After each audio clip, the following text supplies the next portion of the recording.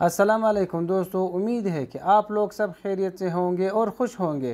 दोस्तों, आज आप लोगों के लिए एक बहुत बेहतरीन सा वीडियो लेकर आए हैं।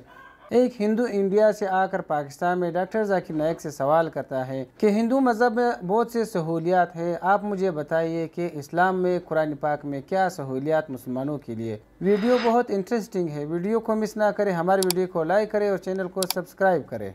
मेरा नाम है Sandeep Yadav. I am from India Hyderabad I am a professional YouTuber and motorcyclist so my question is Hinduism has given to this world uh, yoga for the fitness and Ayurveda uh, to cure some diseases and Vedas for the knowledge. And I want to know what Islam or Quran gave to this world. भाई साहब ने कहा कि वो हिंदू है हैदराबाद से और Hinduism ने योगा दिया सेहत के लिए आयुर्वेद दिया है बीमारी दूर करने के लिए और तीसरी चीज़? Vedas for the knowledge. Veda for knowledge. Islam ने क्या दिया? इस्लाम ने क्या दिया? बोलने लगूं तो रात दिन रात दिन पूरे पूरा साल भी तकरीर करूँ तो कम है। लेकिन आपके तीन बातों के जवाब दूँगा। आपके हिंदुइज्म में योगा दिया बराबर. कितने हिंदू लोग योगा करते हैं? Uh, maybe 1 2 percent. One two percent मान लो सही है। हमारे इस्लाम में अल्लाह सुबहाना ताला ने हम पे फ़र्ज़ करा पाँच बार नमाज़ पढ़ने के लिए पाँच बार। पाँच बार नमाज़ पढ़ने के लिए। और आप देखेंगे मुसलमान पाँच बार नमाज़ पढ़ते और मैंने तकरीर की हूँ मैंने तकरीर किया हूँ। जैसे मैंने कहा कि मेरी तालीम अंग्रेज़ी में हुए कभी कभी बात करने पे जबान लचक जाती है। तो उसके लिए माजरत चाहता हूँ, एक होता गलती करना, वो उर्दू तकरीर में ज़्यादा होती है, एक होता है जबान लचकना। क्योंकि जोश से जब बात कर, दिमाग सोच रहा है अंग्रेज़ी में, और अल्फाज निकले उर्दू से, वक्त लगता है और लचक जाती है। मैंने एक तकरीर किया हूँ, जिसका नाम है सलाह द प्रोग्रामिंग टुवर्ड्स राइचियसनेस। सलाह आपको रहनुमा दिखाता है सीधे रास्ते पर। और उस तकरीर में एक छोटा सा पार्ट है जिसे कहा जाता है मेडिकल बेनिफिट्स। पूरी तकरीर डेढ़ घंटे की है। मेडिकल बेनिफिट भी लंबे हैं। आज की साइंस कहती है कि आज आज की साइंस कहती है कि हम हमारे जो पोजीशन है सलाम में हमें खड़े रहना पड़ता है रुकू करना पड़ता है सिजदा करना पड़ता है। आपने देखा होगा मुसलमानों को नमाज़ पढ़ते हुए। तो ये पोजीशन के वजह से कई आपकी हड्डियों की ऑर्थोपेडिक बीमारियाँ दूर होती है। और सुजूद जो है सलाह का सबसे बेहतरीन पोजीशन है। सजदा में हम अपने जिसम का सबसे ऊँचा हिस्सा ज़मीन पे लगाते और कहते, अल्लाह की तारीफ़ करते। सुबह बिन आला। ग्लोरी बी टू अल्लाह आज के साइकोलॉजिस्ट कहते हैं कि आप अपने माइंड को काबू में नहीं कर सकते। अपने हाथ, अपने जिस्म को काबू में कर सकते। क्योंकि अपना माइंड भटकता है, अपना जहन तो साइकोलॉजिस्ट कहते हैं कि जहन को भटकने जहन को काबू करने के लिए आप अपने जिस्म को काबू में कर सकते तो हम क्या करते सबसे हमारे अजीम जिस्म के ऊँचे पार्ट को हम हम्बल करते हैं और कहते सुबहान बिन आला ग्लोरी बी टू अल्लाह तीन बार। जब हम ये करते हैं तो हम we are submitting a will to God ये करते टाइम पे कई फ़ायदे होते फरिश तो लंबी है, दो तीन चीज़ कहूँगा। आप जब, हमारा जिस्म जो है, अक्सर लोग पूरे दिन खड़े रहते हैं। कभी कभी लेटते हम जब सिजदा करते हैं तो खून हमारे चेहरे में ज़्यादा जाता है। जब खून चेहरे में ज़्यादा जाता है तो जो चेहरे की चमड़ी है वो और हेल्दी होती है। आपको कई चेहरे के चमड़ी की बीमारी दूर हो जाती है। आप समझ रहे there is excess of blood flowing into the face आप जब सिजदा करते हैं तो कई लोग को साइनस होते हैं। साइनस मतलब हमारे जो चेहरे के अंदर जो है साइनसेस है। मैक्सिलरी साइनस स्मॉडल साइनस तो जब हम सिजदा करते हैं तो ये ड्रेन हो जाते हैं। तो ये ड्रेन हो जाते मतलब इसका जो फ्लूड है, वो निकल जाता है। आपको साइनस होने के चांसेस कम है। हम जब आमतौर पे सांस लेते हैं और सांस बाहर निकालते हैं, हमारे लंग्स की जो हवा है टू थर्ड दो तिया हिस्सा हवा बाहर जाता है, हवा अंदर आता है। पूरे हवा बाहर नहीं जाती। अन्यथा जानबूझ के करेंगे, जो हम करते हैं आमतौर पे। जब हम सिजदा करते हैं तो हमारे जो पेट के जो एब्डोमिनल पार्ट्स है, वो लंग के नीचे के हिस्सों को दबाते हैं। जब दबाते हैं तो वो रेसिडुअल एयर मेडिकल में कहते हैं रेसिडुअल एयर वो एक तिया हिस्सा जो हवा का है, हमारे फेफड़े में, वो भी बाहर निकलता है। तो हम सिजदे में जब सांस लेते हैं, हमको फ्रेश एयर और आती है।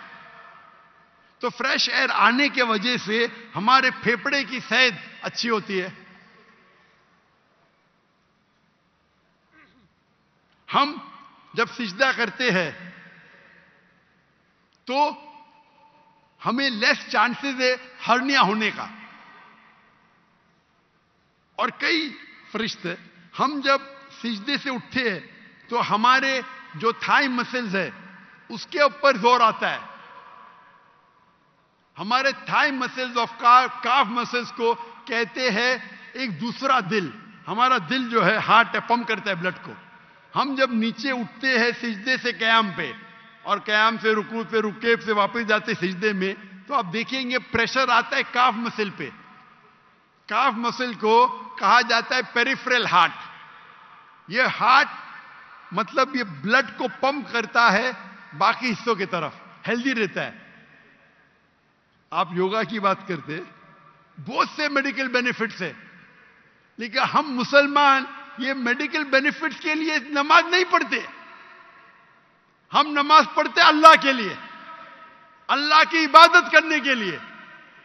ये जो मेडिकल बेनिफिट्स है, हमारा साइड डिश है। साइड डिश ना? हमारी बिरयानी है कि हम अल्लाह ताला की इबादत करते उसके साथ साथ ये बेनिफिट तो ऐसा ही मिल जाता हमको। कोई भी मुसलमान वर्जिश करने के लिए सलाह नहीं करता। सलाह करता है क्योंकि अल्लाह की इबादत करने के लिए। लेकिन साथ साथ वर्जिश भी हो रही है, सेहत भी हो रहा है। मैं कभी जिम में जाता ही नहीं हूँ। मुझे लोग पूछते जिम में कितने बार जाते मैं मैं नमाज़ पढ़ता हूँ। पाँच टाइम। मैं पढ़ता हूँ सात टाइम। ताजुद। आधा घंटा पढ़ो, दो घंटा पढ़ो, दो घंटा पढ़ता हूँ। वर्जिश। देखो, कल बीमार होने के बावजूद मैं चार घंटा खड़ा था कि नहीं स्टेज के ऊपर। सलाह की वजह से। तो ये मेरी वर्जिश है, मैं कुरान के डब्बे उठाता हूँ। मुझे नौकर उठाने की ज़रूरत ही नहीं। तो इस्लाम में जो सलाह है, वो दूसरा नंबर है। सेकंड पिलर ऑफ़ इस्लाम है। आप जो योगा की बात कर रहे थे आपके लोग एक या दो फ़ीसद नमाज़ पढ़ते बराबर? मुसलमान पाँच टाइम भले ने जुम्मा तो पढ़ते नमाज़, पढ़ते क्या ने पाँच टाइम कोई बोलेगा दस फ़ीसद, बीस फ़ीसद, लेकिन जुम्मा तो पढ़ते अस्सी फ़ीसद तो पढ़ते नब्बे फ़ीसद तो पढ़ते जुम्मा। हफ़्ते में एक बार कम से कम, पढ़ना चाहिए पाँच बार। तो आपके जो हिंदुइज्म में योगा कहा गया, हमारे इसमें सलाह। इस पर तकरीर दो घंटे की मेरी है। आपका दूसरा, आपने कहा आयुर्वेद।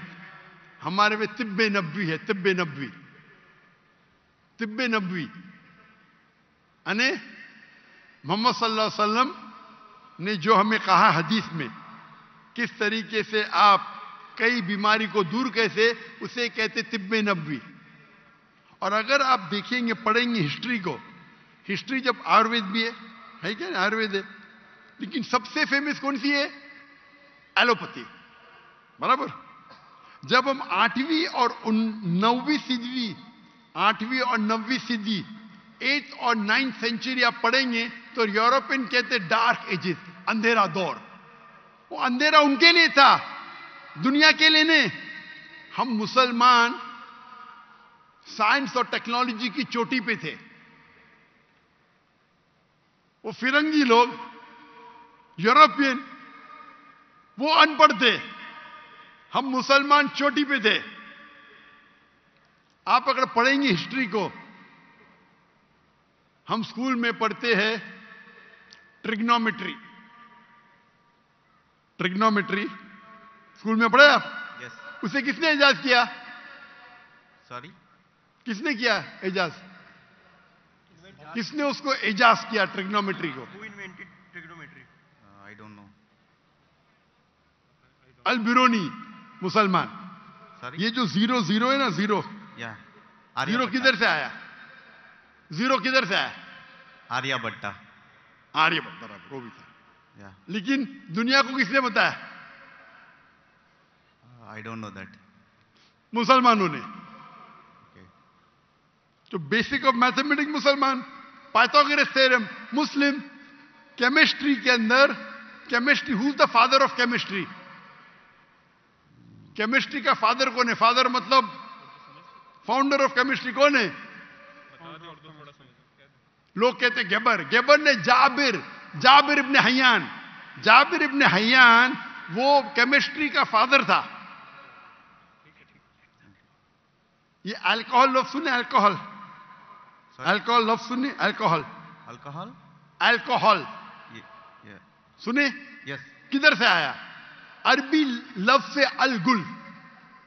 अलगुल अरबी लफ्ज है जिसे कहते इविल स्पिरिट्स शैतान की स्पिरिट तो जाबिर इब्ने हयान ने डिस्क्राइब किया अल्कोहल के बारे में और अलगुल अरबी लफ्ज से एजाज हुआ अल्कोहल आप अगर पढ़ेंगे कितने किताबें मेडिकल की अर राज़ी कितने किताब?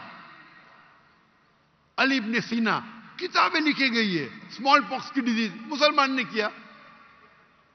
तो आप अगर कंपेयर करेंगे आज के मॉडर्न मेडिसिन में और वेद में भी है मैं ये नहीं कहता हूँ नहीं है लेकिन जितने मेडिसिन मुसलमानों ने ईजाद किए वो कई ज़्यादा है। आप समझ रहे Yeah. कई ज़्यादा है। आपने कहा हिदायत के लिए वेद है। हमारे लिए हिदायत के लिए कुरान है।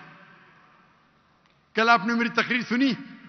कुरान आलमी ज़रूरत सुने आपने? कल की तकरीर सुनी या नहीं सुनी? Can you speak in English I know little Urdu अंग्रेज़ी में तो मैं और खुश हूँ। I are did you have my talk yesterday on the Quran the global reality, global necessity? Did you hear it? No. Okay. So in that I've described how Quran is a must for the whole world. Quran एक आखिरी हिदायत की किताब है सारी इंसानियत के लिए अगर आप साइंस का मुताला करेंगे साइंस का और साइंस को अपना मैार बनाएँगे बराबर और इसको परखेंगे। जितने भी किताब चाहे बाइबल है, चाहे वेद है, चाहे कुरान है, साइंस से परखेंगे तो कुरान के अलावा बाकी सब किताबों में गलतियाँ हैं। मैं नॉर्मली बाकी कल, बाकी किताबों में गलतियाँ नहीं निकालना चाहता हूँ। क्योंकि कुरान में लिखे ला, ताल इला कलीमत सवा बैन बैनकुम। आओ हम उस बात की तरफ़ जो आप और हम में यकसा है। आपके वेद में लिखा है कि सूरज धरती के चक्कर लेता है। ये सही है? वेद में तो लिखा है ना? साइंटिफिकली सही है? yeah. क्या सूरज धरती के चक्कर लेता है? लेता है क्या नहीं लेता है? उर्दू तो okay if you read the Veda it's mention in the Veda that the sun take circles around the earth I'm asking a question. yeah. No, Earth is uh, rotating around the sun. Sorry? The Earth is rotating around the sun. Correct. But your Ved says the opposite. Your Ved is saying that the sun is rotating, revolving around the earth. That means there's a scientific error. What does the Quran says? Quran, there is a full, Quran has got 6,326 verses, out of which more than a thousand verses speak about science. I've given a lecture, Quran and modern science. Okay, I'll So- go through that. You should see it. Yes. So if you hear that talk, you see the guidance that the Quran has given in science, in technology, about how a human being should lead his life. It is far, so Ved also has got. I'm not saying Ved doesn't have. But if you compare an apple to an apple, there's a world of a difference between the knowledge of the Quran and knowledge of Ved. I'm not telling you that Ved doesn't have. Ved has got some scientific facts. Ved has got beautiful guidance. But if you compare, for example, if you read a book of standard 2 and if you read a book of PhD, both are correct. But isn't there difference in guidance? Yes or no? Sorry. Huh? When you read a book of standard 2 and a book of PhD, Yeah. both are correct. But the difference of knowledge is chalk and cheese, correct? Yes. Similarly, even Ved has got good points. I'm not saying no. But the points in the Quran are far superior. So Almighty God, Allah subhanahu wa ta'ala says in Surah Rad, chapter number 13, verse number 38,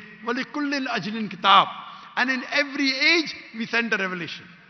Almighty God sent a book in every age. By name only four are mentioned in the Quran. Torah, Zabur, Injil and the Quran. Torah was given to Moses, peace be upon him. Zabur was given to David, peace be upon him. Injil was given to Jesus, peace be upon him. And Quran to the last and final messenger, Prophet Muhammad, peace be upon him. But besides this, there were many other books. Name is not mentioned. Maybe, maybe, Ved also was the book of God. I'm not saying for sure. Maybe we don't know. But all the books that came before the Quran, they were meant for a particular time period and for a particular group of people. So because they were meant for a particular time period and only for a particular group of people, Almighty God did not think it fit to preserve it. But because the Quran is the last and final revelation, it was not sent only for the Muslims or the Arabs, it was sent for the whole of humanity. And Almighty God preserved it. And Almighty God revealed the last edition of His revelation when He knew that human beings were fit to accept it. That's the reason, as I told earlier, the true concept of God is even in Ved. Worship one God. Don't make idol. Don't make ox. Due to passage of time, many things have been altered, have got corrupted. According to Swami Vivekananda, you heard of Swami Vivekananda? Yes. He said the present way there's only a small fraction available. So all the revelations before Almighty God, before the Quran, sorry, they have not been preserved. But the last and final revelation has been preserved. All the messengers that came before Prophet Muhammad, 25 are mentioned by name. Adam, Noah, Moses, Jesus, Muhammad, peace be upon them all. But our beloved Prophet Muhammad said there were 124,000 messengers sent on the face of the earth. Maybe Ram was a messenger of God. Maybe Krishna was a messenger. I don't know. But even if they were messengers of God, they were only meant for those people and for that time because the message was time bound. Since Prophet Muhammad, peace be upon him, was the last and final messenger, as Quran says in Surah Azab, chapter number 33, verse number 40, Ma kana Muhammadun aba ahadim mirjalukum, walakin Rasulullah, wa khatamun nabeen, wa kana Allah bi kulli shayin alima. That Muhammad is not, peace be upon him, father of any of your sons, but is the messenger of Allah and the seal of the prophets. And Allah is all knowing, all wise. Because he was the last and final messenger, he was not sent only for the Muslims or the Arabs, Allah says in the Quran in Surah Anbiya, chapter number 21, verse number 107,